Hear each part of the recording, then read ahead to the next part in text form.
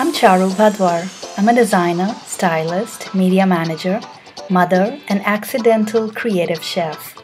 I live in beach cities filled with stores which carry healthy organic ingredients from all over the world.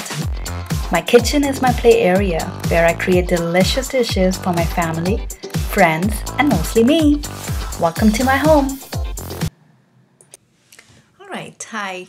This is Charu again. This is my final review on Pink Armor. I absolutely love this nail polish. Now, my nails are growing faster. It's been two weeks and I don't know what this nail polish does, but my nails are not peeling, they're not breaking.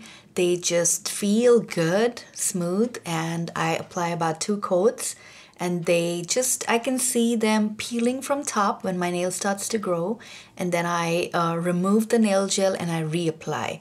But trust me this is the best nail gel. I have tried a couple of them but a big thumbs up to Pink Armor. I would say it's a must buy and please subscribe to my channel. Thank you for watching